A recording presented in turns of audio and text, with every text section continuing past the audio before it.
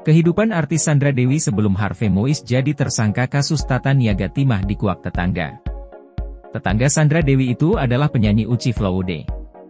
Dia bertetangga dengan Sandra Dewi pada hunian apartemen. Menurutnya, apartemen Sandra Dewi memiliki fasilitas yang setara dengan hotel berbintang 5. Memang, keluarga Sandra Dewi dan Harvey Mois mendadak ramai diperbincangkan publik. Tak hanya memiliki fasilitas mewah, akses untuk memasuki kawasan tersebut pun terbilang cukup ketat. Tak ayal, para penghuni apartemen seperti milik Uci Flaude dan Sandra Dewi memiliki citra tersendiri lantaran apartemen tersebut tergolong dalam hunian yang berharga fantastis.